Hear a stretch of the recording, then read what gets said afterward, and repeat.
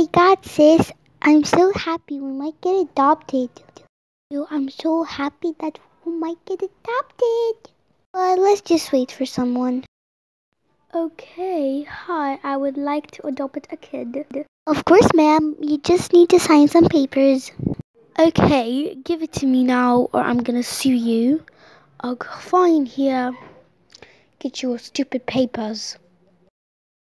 Thanks, ma'am. Okay, you wanna get your child now?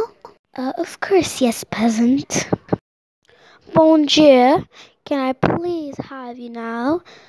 Oh, okay, I'm just gonna say bye to my sister.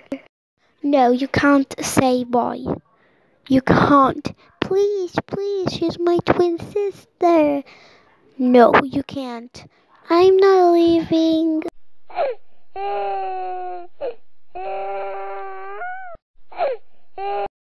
What is this stupid place? Ugh, can I adopt a stupid kid like your face? Give me one now.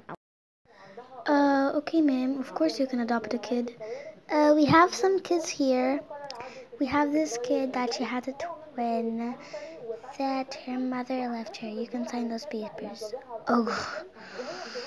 Okay, fine. Give me my stupid kid now. Ugh. Uh, okay, ma'am. Here she is. Ugh, the stupid kid. Come on, kid. You're going home. Mm, okay, mommy. Okay. Get up. Are you gonna just sit there, literally doing nothing? Get up right now.